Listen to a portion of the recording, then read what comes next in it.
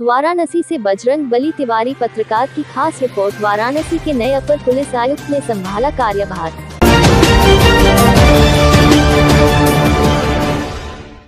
Commissionerate के नए अपर police आयुक्त सुभाष चंद्र दुबे ने कार्यभार संभाला। बनारस पहुँचने के बाद उन्होंने सबसे पहले बाबा श्री काशी विश्वनाथ और काशी कोतवाल बाबा काल भैरव से आशीर्वाद लिया। फिर उन्होंने एडिशनल सीपी का चार्ज लिया।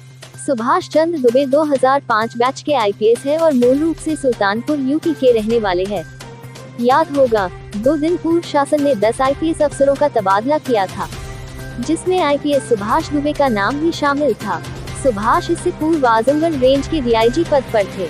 चार्ज लेने के बाद उन्होंने कहा कि कानून व्यवस्था बनाए रखने के लिए पूरा प्रयास होगा। कानून व्यवस्था बनाए रखना और कानून व्यवस्था के साथ साथ जनसामान्य की अपेक्षाओं पर खरा उतरना है। जनहित में भयमुक्त वातावरण बनाने और अपराधियों पर सख्त कार्रवाई कर क्षेत्र में कानून व्यवस्था का अनुपालन करना ही प्रमुख उद्देश्य रहेगा। शपथ भार ग्रहण किया है, जिसके अंतर्गत मुझे मुख्यालय और अपराध की ज़िम्मेदारी आयुक्त, पुलिस आयुक्त महोदय द्वारा दी गई है। हम मनवाणी कर्म से, अपने संपूर्ण मनोयोग से, जो भी दायित्व दिए गए हैं, उनको निर्वहित करेंगे। आम जनमानस की जो समस्याएँ हैं, उनका भी जिस चैनल पर समाधान होना चाहिए, वहाँ पर इंश्योर कराएँगे।